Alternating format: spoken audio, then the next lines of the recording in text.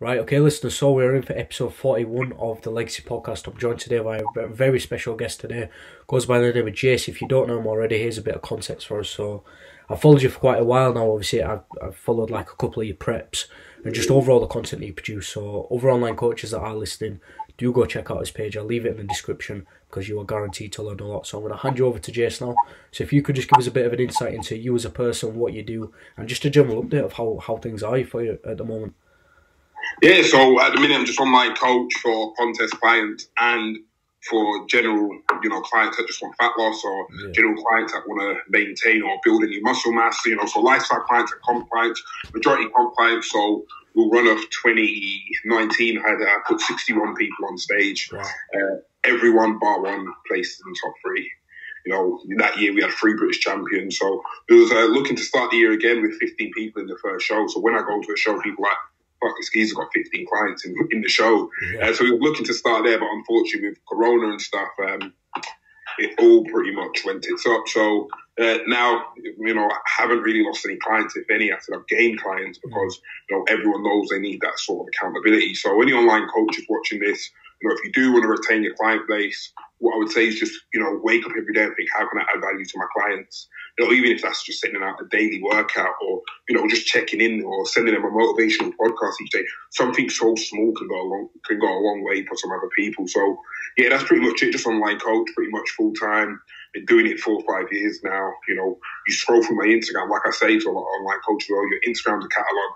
You know, every other picture I've got a client. You know, you go on my page, you know, you don't have to DM me and say, "Are you an online coach?" It's yeah, there for you yeah. to see. It's there for you to see the results. So all I say is your Instagram's a catalog. Utilize that platform. It's the biggest advertisement platform in the world, and it's absolutely free. So that's pretty much it. Yeah. So obviously, um, a lot of your clients with you specialising in comp prep, with them having planned shows, how have you sort of handled the protocols? You know, have you transitioned them into off season, sort of like body recomp phases? How's that transition been for your team of clients? Well, pretty much, if a client comes to me, I'll normally say very exceptional genetic freaks, I'll take them on like 10 weeks out. But a majority of guys will start 60 weeks out. So we'll go into a contest prep. So, for example, Corona took over three or four weeks out. We didn't do a contest prep, and it was majority, you know, let's get health back in the right place. Because yeah, yeah. a lot of clients kept saying, I want to keep dieting. I say, why? Yeah. You know, you know, this sport is about longevity. Bodybuilding is healthy. I'm, I'm the first one to say it. Mm. So there's no point pushing for another four, five, six weeks. Yeah, yeah. Knowing that, you know, if you want to do another prep at the end of the year, only you prep for half the year. So a lot of guys, we just um, I like to keep cardio in, in the off season to prevent getting sloppy, and then I'll just slowly taper up cardio and then taper down food because I like to create that seesaw effect. Yeah. You know, because a lot of guys go in the off season, they're like, all right, I'm going to have an extra thousand calories, I'm going to cut cardio, and your body's pretty much, and you know, if they're cutting any uh, performance enhancement cutting drugs, you know, you you pull three variables out, your body's only going to you know, respond very badly. So you want to take absolutely everything down, you know, that's including the cycle, uh, that's including your cardio, and you want to slowly taper up because you don't want to eat too much too quickly. You're just going to jeopardize all the work that you've done. Yeah. You know, end of the day, it's not an eating contest. People love to say, you know, I'm on 5,000 calories. No one really cares how much calories you're on. Yeah, yeah. I feel that's a massive trend when people rebound. You know, I'm rebounding on 5,000, 1,000 on the carbs. Really don't care because it's about what you digest and what you utilize. And you know, you can eat that, but if you look like a piece of shit, you're gonna just have a hard breath. Definitely. So a lot of guys, my advice is keep a bit of cardio and slowly reverse out your diet phase. Yeah. I can imagine as well that sort of change to calories and you know bumping stuff up and playing around with variables for those that are wanting to improve on weak points, it's giving them sort of like a second chance to really improve their chance of winning for when shows do go ahead and when they can reapproach those preps for next year as well, which ultimately can be a blessing in disguise as well.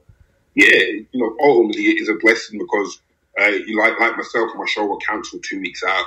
Yeah. I was in, I was in Dubai, meant to fly to New Zealand. You know, I got my physique to a point where I was happy, but now I'm like, you know what, it can be much better you know, I didn't push to an extreme, but I got to a point where I could see this is a weak point, this is a weak point.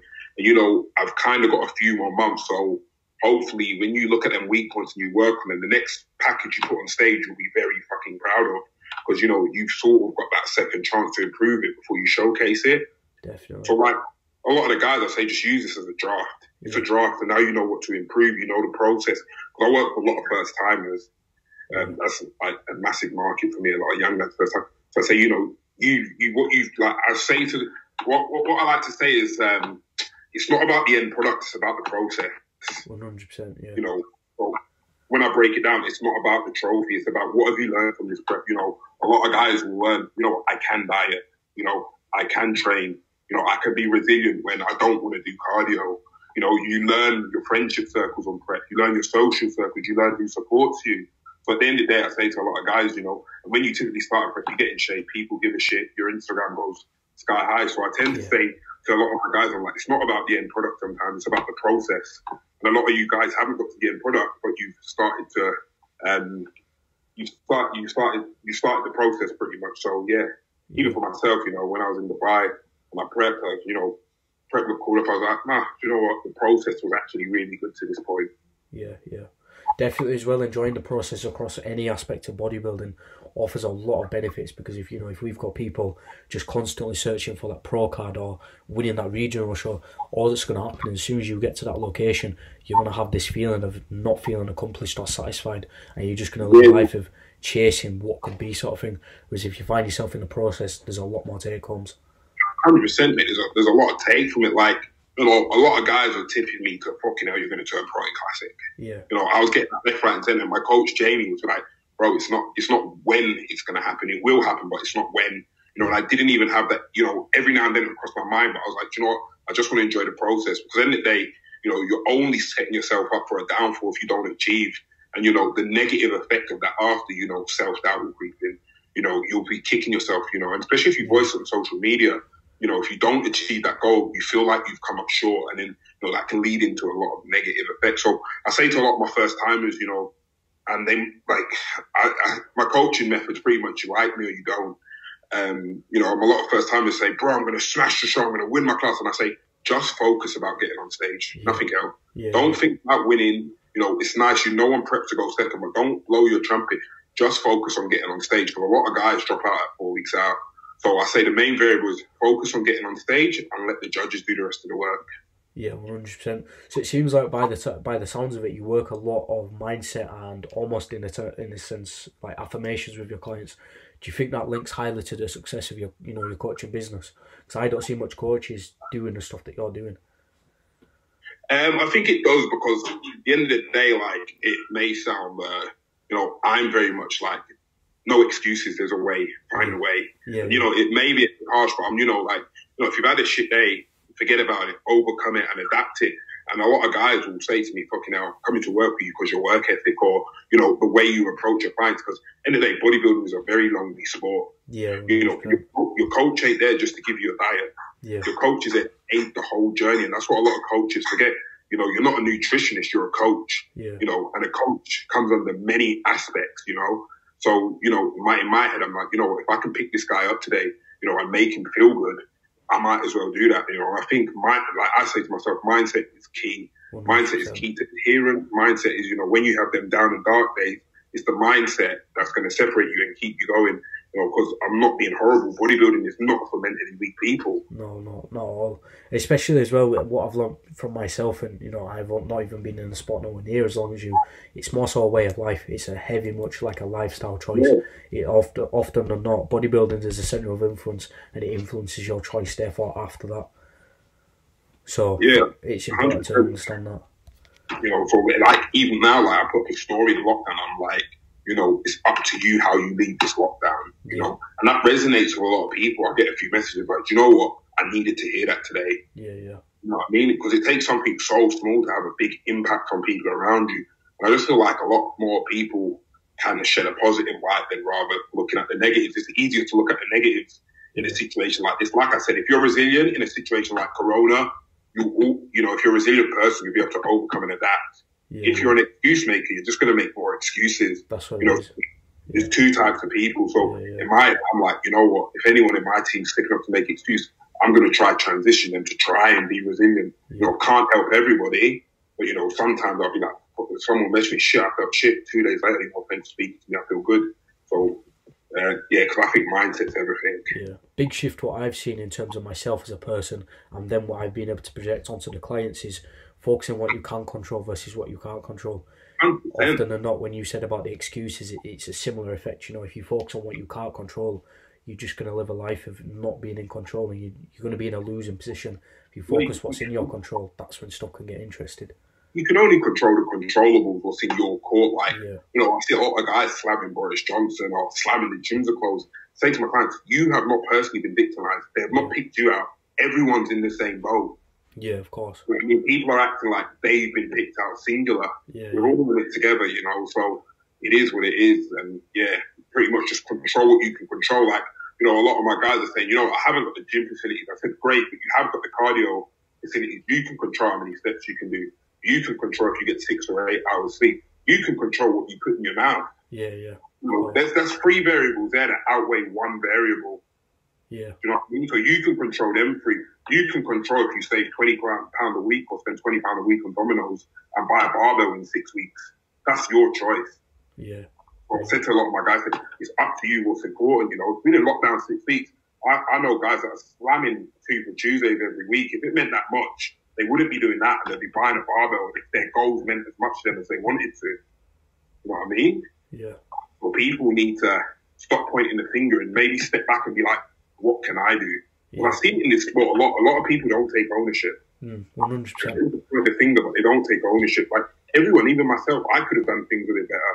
You know, so it's just one of them things. Is you know, there's three or four variables you can control against the one you can't control. Exactly, one hundred percent. And then obviously we can start looking into you know making the right choices as opposed to yeah, slightly 100%. less right choices. If you think of the money people have saved during this lockdown, you know, for example, oh, reduced takeaways, less nights out, that could oh. add up to easy, you know, four five hundred pound a month. Which there you go, is a bench right there. Or a How many pounds does your mate said to you twice a week? Let's go get a Nando's. You spend forty pound a week on something you don't need to eat. Yeah, straight away. You know, you know, everyone. There's no doubt because people are driving less. You know, people are not being as social. So everyone saved money, which they could put that aside and invest in something if their goals mean as much. I mean, if it doesn't, so be it. But, you know, if you're preaching your goals mean so much and you're looking to blame someone else, you know, you pretty much say, you know what, have I done everything I can to make sure that I prioritize on my behalf? Yeah, one hundred percent. And I think that's just going to show, you know, when people come out of this lockdown, because I think going into lockdown was a big transition, but going out of lockdown and readjusting to normal life, I think that yeah. would perhaps be an even bigger transition. Yeah, and you know, you're in control. You leave lockdown. You know, I've seen some guys progress even more so in lockdown yeah. than they have outside because there's no distract, there's no social distraction. Yeah. I had, a, I had a lady. Said, first time I stuck to my diet because you know Thursday night after work I'm not going for drinks. Yeah. Yeah, you know, so some people are actually leaving it better than what they came in, and hopefully they carry them habits back out into uh, readjusting into real life. Definitely. You know, so a lot of guys like I say is uh, if you know if you've only got a barbell, I think it's great because you know we all started training probably in our house with just a barbell or a set of dumbbells, so yeah. we kind of reverse time, and uh, you know we haven't got 200 kilo on load, so we can slow down movements, make them more acute, you know, and make sure we hit the target muscle, make sure the tempo's fine, and refining form. So now is the time to redo the basics. Yeah. You know, nail them with your 100 kilo load. And when you get in the gym, you've earned the right to add load to them. So there's many positives to take. And I think a lot of people see that physiques flourish I feel like a lot of people got tied into certain splits in the industry, and you know now they they haven't got an opportunity to log every lift or do this. So it's like you know what the basics actually do work. Yeah. Or anything they do in the gym now, their body's going to cause crazy adaptation. So pretty much everyone's got a restart. Yeah we can definitely really milk this sort of like reprogramming phase of training, especially in terms of execution. I've been asking for a lot more feedback. You know, I'm lucky enough to have a lot of clients that have good home gyms. So all it's been is just constant feedback on video execution. And what it means now is as we can nail that execution, which is the stage one of developing any training program, we can just absolutely rinse the sessions when we go back, as well, you say. 100%, you know, I'm getting that. I'm getting guys to send their top lifting every week. Yeah. Yeah. One of their sessions, you know, I'm seeing a lot of squats that they call squats, and I'm like, you know what? Let's reduce the load, yeah. take the tempo down, and, and, work on ankle flexibility. Things you won't work on in the gym, you, you just can't be bothered. Yeah. You know, now there's enough time to do that, and I've got a lot of guys doing more mobility work or you know making sure they're recovering well because these are things we can do with a lot of free time. Yeah. So yeah, I think it's just going to reprogram everyone's training And, you know, like I just say to my clients, master the barbell. Don't buy these fancy things. Just get a barbell. Yeah, yeah, yeah. So obviously shifting straight directly into training, how have you as an individual found training? Because obviously, you know, we was all in gyms before and so have you sort of invested in kit? How have you handled that Um, transition? I'm very lucky. How can I word this? I've made the correct life decisions where I'm pretty fortunate to still have keys to a gym. oh, okay. So, but I, I've still got in my house. I did still bring home a barbell. Uh, I can see it over there, uh, a hundred kilo worth of plates. Yeah. Because ultimately, uh, like you know, a lot of people like I see another bodybuilder on Instagram put up his training. Like James Hollingshead put up his training, like a gym, and people like, but you're training in the gym. Yeah, yeah. Ultimately, the correct life decisions that he's got access and keys to a gym. You know, he's invested in the gym. It's his equipment. You know, so I'm very fortunate. I've made them correct life decisions where I put myself in a position to have access to a gym.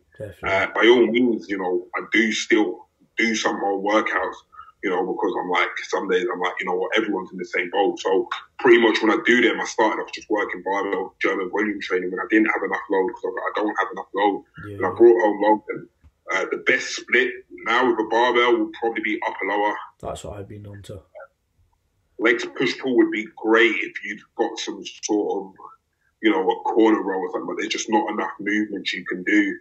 Um, so I think upper lower, you you know, you'll you'll still yield a lot of growth, and you know, if you do upper lower with barbell complex, and you know your protein's high enough, you've got no excuse really to regress. Yeah, definitely as well. Especially if we look into the actual, you know, the science and methodologies behind the drivers of hypertrophy. For example, in the gyms, we would often work in that five to nine. Would be we'd have that load to create that five to nine, or you know, work with hundreds of kilos worth of weight. All that's changed now is we've just got to readjust our programs.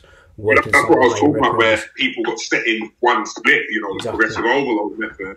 You know, so now it's quite great that everyone, you know, who's logbooking and being so anal, it's like doesn't matter now. Like this is the jungle. You got to work with what you got to make Definitely. it work. Yeah, So essentially, you know, because you're performing over them rep ranges, hopefully your cardiovascular performance when you go back in the gym is better than when you were just married to five to nine.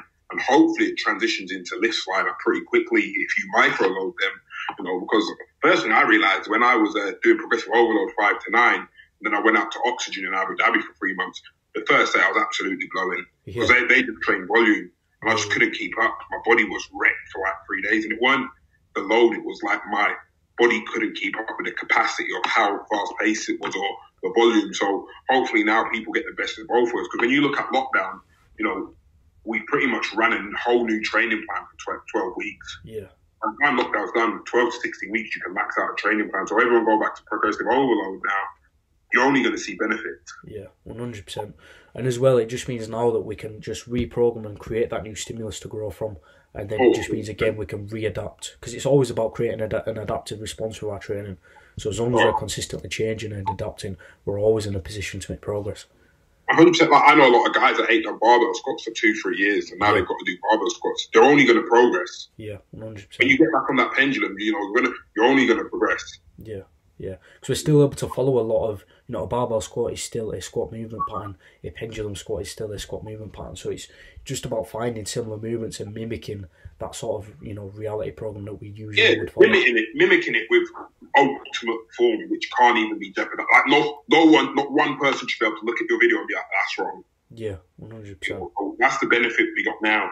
And you know, another thing I like to see is people are becoming innovative. You know, Yeah. people are. They're thinking outside the box. And you know, what says to me, like I know I'm a coach, but I shouldn't say this, but you know, some of my clients are thinking for themselves. Yeah, Which is quite, it's quite cool to see. Because you know, like I say to my clients, I want to coach you, but I don't want to babysit. you.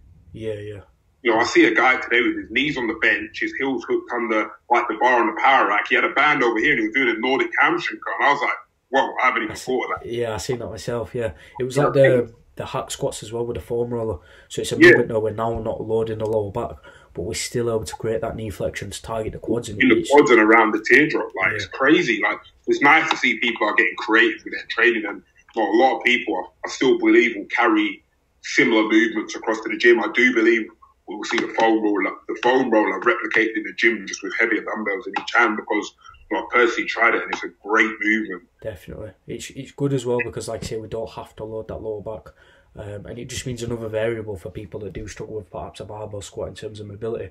We can just transfer and create that new program in terms of you know using the foam roller hack squat. Yeah, hundred percent. So. Um, and as well, what I found as well with a lot of like lifestyle clients, I don't coach, the, you know, the more prep clients, but going into the general lifestyle ones, I found as well uh, they've struggled with motivation. So going into that routine touch, I found routine to be the biggest driver and just re readapting our lifestyle. Yeah, no, hundred percent. Like routine is key, especially lifestyle clients because they've got, like I said, like the lady who I had is like after work I go and have a gym. Yeah. Like they're forced, they can't do that anymore. So they're like, you know, I've got an hour spare in the evening. I'll actually do a workout. Mm. So it's quite nice. So just hoping that clients, if they carry that along, you're just going to see more client progress. And I don't know, I'm sure you're like me. If I see client progress, I get so excited. Yeah, 100%. Even just, just any sort of like form of feedback. Um, you know, something as simple, I found as well, just stripping it back to basics. So if people are struggling with routine, something as simple as splitting the day into three halves. So you got your morning, afternoon, and evening. I always yeah. get clients to plan the day out. So I'll always plan my day out. And just by planning your day out and writing down a little bit of tasks, using the steps to improve on CV fitness, before you know it, we can create a new adaptive, you know, uh, routine to follow from. 100%. I say to a lot of clients, get up and make a power list. Yeah. What are you going to do today? What are three to four or five things you're going to do today that you wouldn't normally prioritize on a day to day basis? And that can be lot of those, you know what? Like last night, I got on Ben Pakulski's podcast and listened to it before bed. Normally, I don't have time to do that. Yeah, so, like, what can I do every other night or every night, you know, that I'm not doing that I can gain value from? Yeah and it, has been it's been good for me to really work on like the habits that I need to set for you know my followers, my my clients as well. Yeah, example, yeah. Similar to you listening to the podcast, I'm working. I'm investing in multiple member sites. I'm doing like up to three to five lessons a day, focusing yeah, on the craft. There's many sites out there that I recommend. Like obviously Jordan Peters' site, Callum Muscle Mentors have got a great site as well. You know, yeah, yeah probably one of the most informative on, online at the minute. Mm. You know, so there's many, um, there's podcasts that you can pick up free information. Ben Pakulski, you know, there's so many things out there at the minute. Like if you search, you can find a lot. And you know, if you want to go even deeper, you know, you can search research papers. If you know, if you want to start backing up evidence with, you know, some of the facts you're giving across. So a lot of time to learn. You know, I'd rather like, don't get me wrong, we all love sitting and watching Netflix, but you know, it's there's a time to prioritize. You can factor in in your power. It's one hour of learning a day. Yeah, exactly. Just you as know? well, you know, just just building on habits. Like if you're structuring your day, you can still structure in downtime, which is still very much important. You know, I have my downtime, but I will still plan out my day to which I'll dedicate a lot to learning, to investing, and always trying out new skills. And that will show coming out of lockdown to the other people. Oh, it will show. It will show massively. Like it will show massively, and a lot of coaches will lose clients because they're just like, you know, you're not adding value to our service. Now is the time to add value. Yeah. Well, so it's good in that sense. Yeah, yeah. So obviously going into coaching, sort of like you've been in the industry quite a while now, a bit longer than me. What do you think has changed from the start, from when you was getting into it versus to this current stage now? Oh, what I'd say is change. is more competitive. Definitely, yeah. Saying like when I first came to the industry, there was like every year there was like two or three good coaches. Yeah, yeah. It's just a more competitive market because uh, it's just like competing. It's a like it's not a trend, but people think you know, people say to me, I want to be an online coach. I do say it's a 24 hour office job. Definitely, yeah. You know, I probably look at my phone now, I've probably got a WhatsApp. I say it's not, it's not, oh, sit there, write a few plans, sit down for 12 hours a day. I've had phone calls with people in America today. I've had phone calls with clients in the UK today. It's a 24 hour office job. So a lot of people see it and they think, oh, you know, we'll get some people in shape, earn some cash, you know, work when I want. No, you work on your client's demands. Yeah. If you tell a client your plan's going to be out Wednesday, you've got to work Wednesday. Yeah, yeah. You know, I don't think people really um, do enough research before they say, I want to be an online coach or, you know, I want to be a PT. So I just think it's more of a, um, not a trend because I don't want to put that word on it, but it's more, you know, more people think it's easily accessible because of Instagram and, you know, they're seeing more online coaches. So, but yeah, the biggest thing that I've changed is a more competitive market. Yeah. It's a more online market. You know, in 2015, 2016, you know, I know people working with coaches and have to see them face to face and they get their bio on a piece of paper. Yeah, yeah, yeah. So now, now I, I work with coaches. I'm getting crazy documents. You know, yeah. open up their videos with every movement. You know, so um, just uh, media platform, I'd say, has changed massively. Yeah. The media, like four years ago, there was no such thing as subscription site. Exactly. Yeah, yeah. There was none, and you know, so I'd say media driving and just a more competitive industry, which I think then links into, you know, people want to put themselves across in a better light. So they improve their media. Mm, yeah. I found, Yeah, I found as well, you know, a lot of us coaches do work for ourselves, we're established within our own brands. And the idea with business is you want to build an empire, don't you? An empire is built of strong foundations. If you start off and get into the coaching world chasing it for money, you've automatically failed on foundational stages. Yeah, you're gonna you're gonna fizzle out. You're gonna fall, fall backwards. Like I remember, I wanted to coach in 2016. I was under a coach and mentor pretty much. I went to every single show in the UK BFF calendar Yeah. every weekend. I was just like, I want to see how you peak guys. You know, Yeah. I want to see how you handle clients on show days. Um, you know, and I went every weekend unpaid. You know, crazy Newcastle back in the day, staying in hotels. You know, so people say, "Fuck, you do so well." Like, cause show day, I'm so relaxed. yeah, yeah, Everyone's like, "What?" I'm like, you know, because I've done this walk many a times. yeah, yeah, You know, so when I started, you know, not a lot of people are willing to self-invest yeah. or even free. Like in 2016, I was like, you know what? I said to the guy, I said, you know, I'll come to you every week. I'll meet you in the morning, come to the shows and back with you. And they were like, some people were like, what? What you doing? You ain't got no clients. I said, but I want to learn. yeah, So yeah, now I know, like, I know show day protocol to the T pretty much. yeah. No, it's good. Is that for me? It all started just you know I would I would learn something new in the gym, and it was that buzz of teaching it to my friends, teaching it to Yeah, potential 100%. clients. That buzz of them learning that new skill set that you know essentially was taught by me is something that's still very prevalent now, and that's Yeah, that 100%. passion is just you know one of the best coaches uh, qualities of a coach. Sorry. 100%. 100%. So Yeah, so, um, so obviously the qualities of coach. What do you think make the qualities of a good coach? Uh, you know what? Like I say, the qualities. I'll go through both the qualities of a good coach and the qualities of a good client. I might actually do an IGTV. But Yeah. a quality of a good coach is someone you can communicate with. You know, um, I've had clients come to me and like they message me like, "Sorry, I don't want to pester you." My first reply is, first of all, don't ever say sorry. Yeah, Secondly, I say, you know, pay for a service, fucking utilize it. yeah, yeah, You want to send me a hundred questions, send me a hundred questions. I might not respond to you in one minute, but I will respond to you. So I think being able to communicate with your coach and not have that fear of I'm asking a stupid question, if that makes sense. yeah. No, I understand that a lot. So comfortability with your coach, I say? Comfortability with your coach. Uh, a little bit of a rapport. So you feel like you can turn to your coach in any need. And I think a diverse coach, Yeah, um, not my way or the highway, yeah, be yeah, accommodating to needs. yeah, You know, because like I say to my clients or any new client, there's a hundred ways to skin a cat. You know, don't just have to be my way. You know, and I know there's a lot of coaches it's my way or the highway or yeah. you know, approve this or approve that, so it's got to work. No, so being diverse as a coach, um, you know, be having your clients to be able to communicate you and having that sort of rapport with your clients, and just being honest, uh, I think is a massive factor. Like the amount of times I've heard this person is going to turn you pro, or you know, you're going to win the British. I'm like, you can't guarantee that. So I'd rather not put false hope in anyone's head. Uh, I'll never promise a client, you know, if they message me in DM and say, you know, they send me a picture, can I get in shape like this guy? I'll never say yeah, just to get the sign up. You know what I mean? Just yeah, uh, yeah, yeah, to sign up or people making coaches making false promises. I'll, I'll help you lose 15 kilos in 12 weeks. But then the day, if that don't happen, it's on your head. yeah, yeah, You, know, so you kind of want to be true to yourself and true to yourself. So I know, yeah, I would say don't make false promises. Don't make any promises. Mm.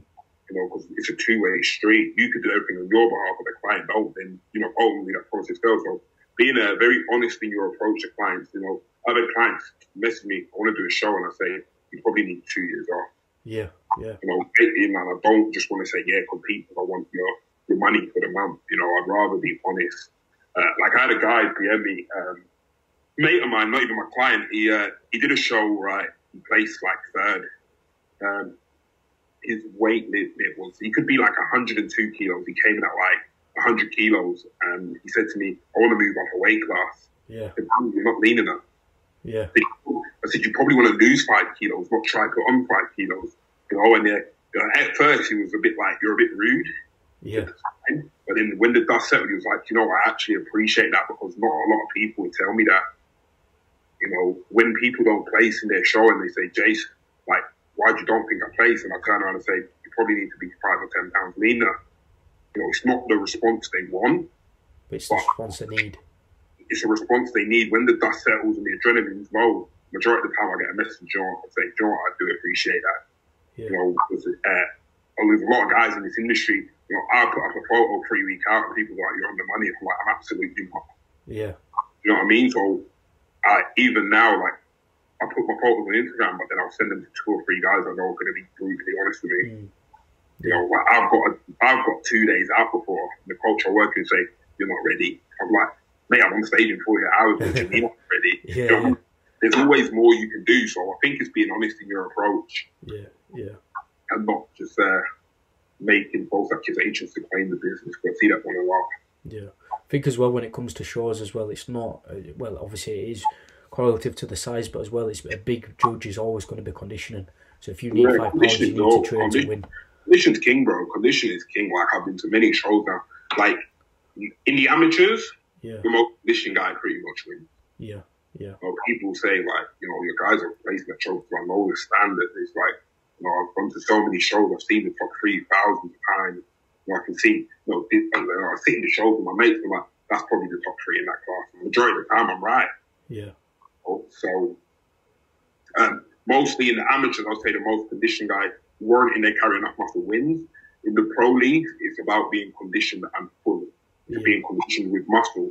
So that's the difference there, uh, which I see massively. You know, obviously being a pro, you need to carry more muscle. So it does still replicate. It's about being conditioned, but being conditioned and full. You know, there's no point being conditioned flat as a pancake. So yeah, that's my advice to my amateurs. I say, you know, let's try to come to the field as we can. As long as it don't jeopardize health. And then with uh, the pro league, I like to think has been conditioned and full. That, Yeah. that balance, which is hard to nail. yeah, yeah, yeah. But as well, that honesty will always nail that strong work ethic from the start. You know, if you're Oh, telling your clients they need five pounds, they will get that five pounds, and then Or I get clients three week out say, bro, I'm ready, I'm on the money. I'm like, there's still work to do. Because if I say you're ready, it's going to go two ways. I've been there in my early years myself. I either go crazy on my cheating on the weekend because I think I'm ahead, yeah, or I'll back off my cardio and take it down a bit. You know, it's because in your head, you're like, you know what, I'm ready. You know, I can take my foot again. No, so I'd like just be like, no, bro, there's still a bit more work to do. yeah, yeah, So How- always yeah. Um, how do you handle that mindset? You know, obviously with a bodybuilder, you're either always never big enough or never lean enough. How do you sort of gauge when it's time to step on stage? Because I'm assuming even when you step on stage, you feel in the back of your head there's still a little bit more you could have done, perhaps. So it's one of the things. If they're a first timer, ultimately you can step on stage pretty much if you carry a bit of muscle because like you're in a level a level playing field, you know, against a lot of first timers. Yeah, You know, and as a coach, your coach should be able to look at you and say, you know what, you're ready or to compete or not because it's not a like definitive boundary to say, you know what, you're 80 kilos, you can compete. No, you can be 80 kilos and carry no muscle and six foot tall. yeah, You know, so as a coach, it's, it's down only to your coach to make that decision. Yeah, You know, I've had guys come to me this week and say, I wanted to be amateur Olympia. They've competed once in their life, and I've turned around and said, I don't think it's the right idea. yeah, yeah, At the day, I'm very honest. I say it's 180 pounds to register, and you're probably going to get blown away. But alternatively, there's a, there's a there's a regional show two weeks before. But I think it's all down to your coach uh, to make that decision. Ultimately, whenever I sign up with a coach, I pick my shows.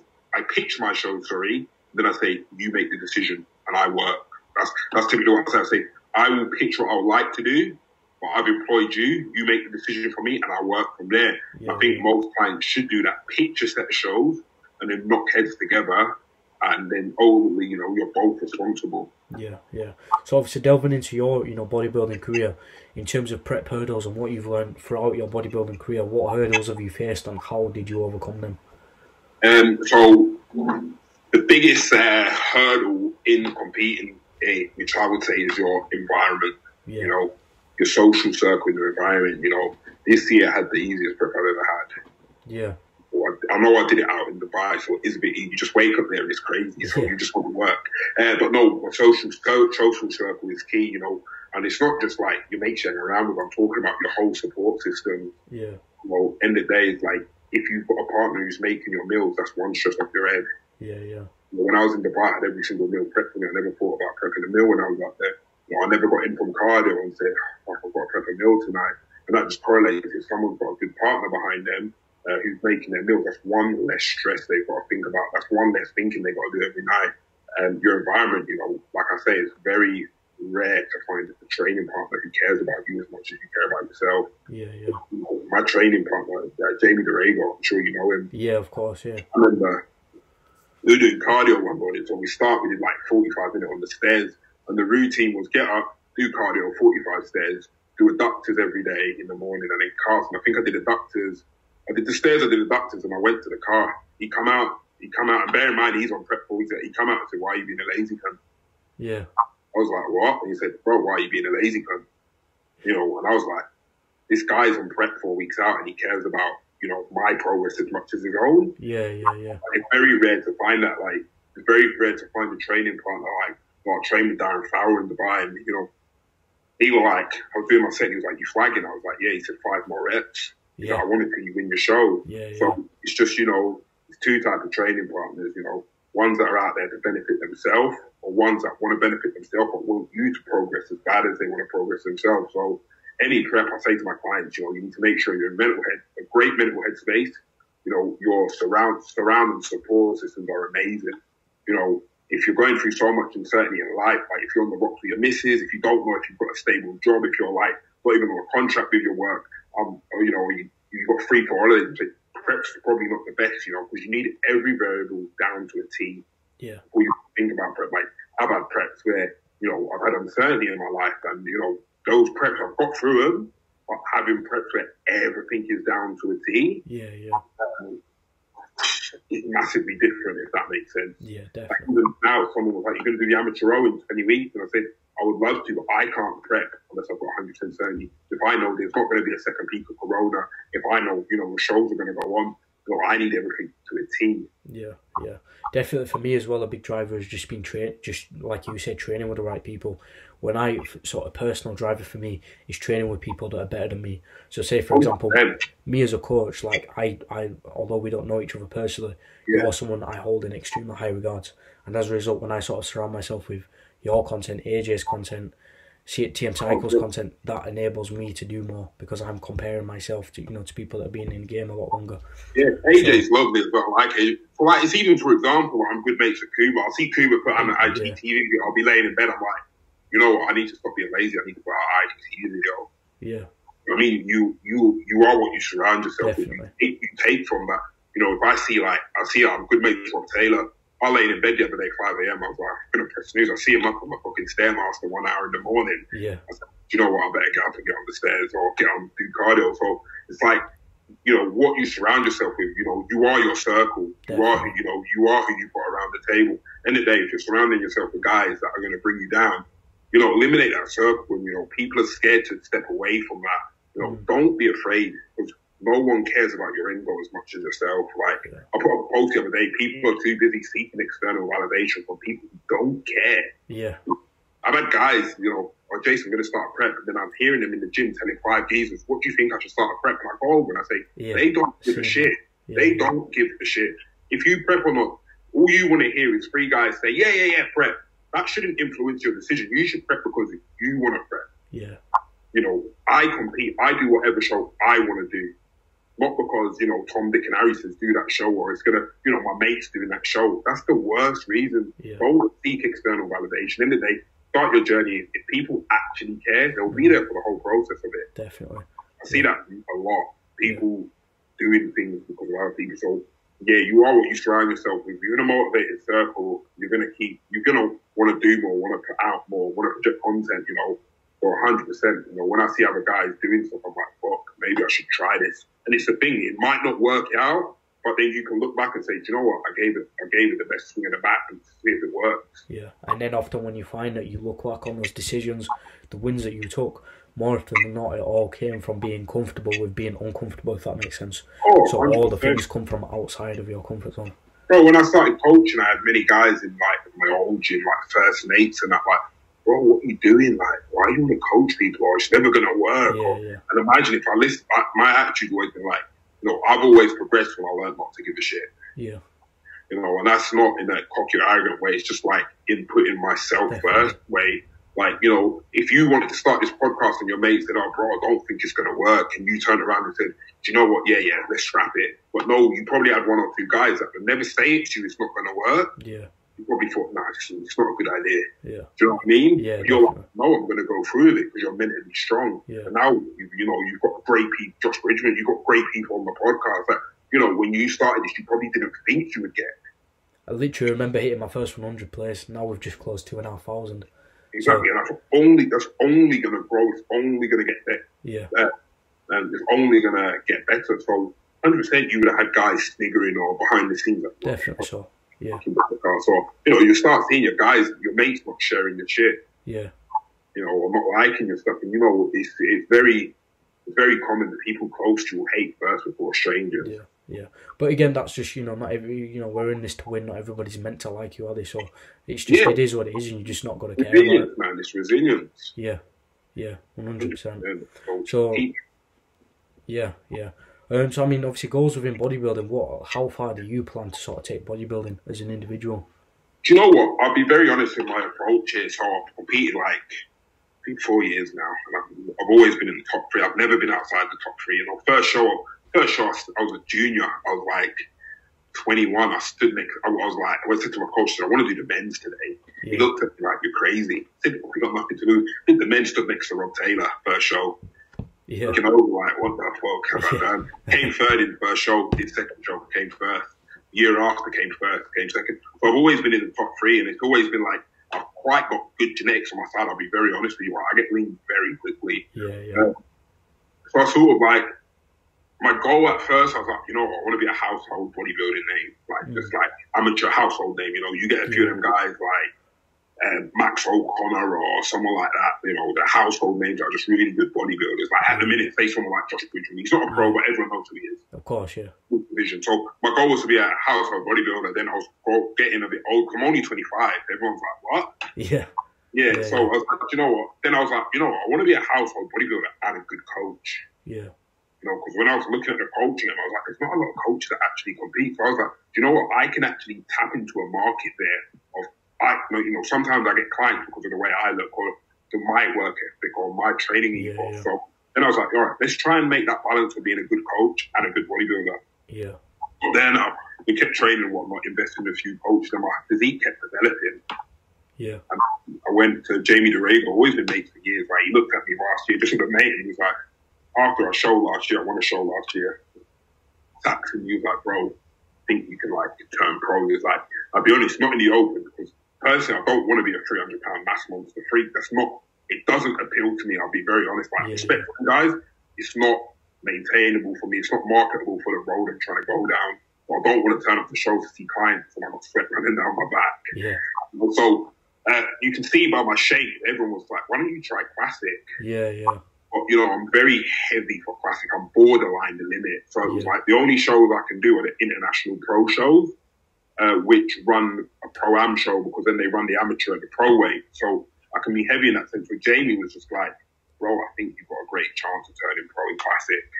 And so it was pretty much, you know, that did turn the goal this year. Only, like, I'll be honest, it only turned the goal this year. It wasn't ever the goal. The goal was, you know, let's be a great amateur and coach. And then, you know, as we got, like, I was, you know, I was uploading pictures every week. Everyone was like, bro. But I get messages from people. Oh, that happened. One sec. One bro. no worries, no worries. Yeah. I get I get messages from people that are pro and they'd message me and be like, bro, you look like a pro. I was like, what? So that was pretty much a driver for me. So I personally believe I can turn pro in classic. yeah, I can't turn pro in the open, and I'm not willing to. So my goal is, you know, if I turn pro in classic, I can be a few pounds heavier. So I'm comfortable with that weight limit and my small waist and body uh, pretty much accommodates that. So now the goal is not to compete till next year because of all the uncertainty. Do the show I was planning to do New Zealand again because I've got all my flights and stuff. And you know, I'm a bit hungry now because you know when you're close to something, it's like you can't do it or it gets taken away. When you're a kid and someone takes away a toy from you, how Yeah. bad do you want that toy? So I'm eager to get on stage, but yeah, yeah, that's why now everyone's like, Jay should still keeping it tight, the Austin, because I'm like, you know, I've got a very fine margin of growing. I'm not saying that, you know, I probably, the first three years I competed, I didn't put on any any any stage weight. yeah, yeah, yeah, I just got better. Mm. In the last 12 months, I've put five kilos. yeah, So it's like, it's like, let's just, uh, I'm, I, I know I probably won't put any on, but I'll get better. Like, my goal is never to be 10 pounds heavier, it's to be, I'm always like, maybe I can be a kilo lighter and a bit tighter.